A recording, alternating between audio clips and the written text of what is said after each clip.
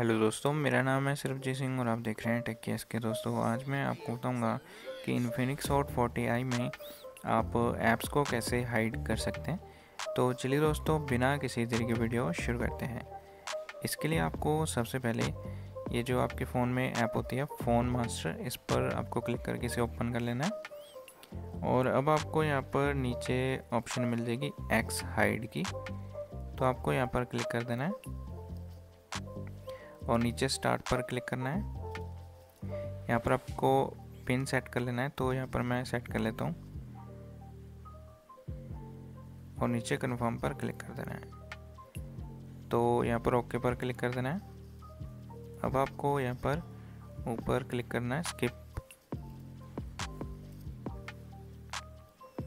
और यहाँ पर आप देख सकते हैं दोस्तों, आपको ऐप्स को हाइड करने की ऑप्शन मिल जाएगी। ऐप्स पर क्लिक कर देना है। और नीचे आपको प्लस वाले आइकन पर क्लिक कर देना है, आपको यहाँ पर प्लस आइकन मिल जाएगा। यहाँ पर आपको क्लिक करना है।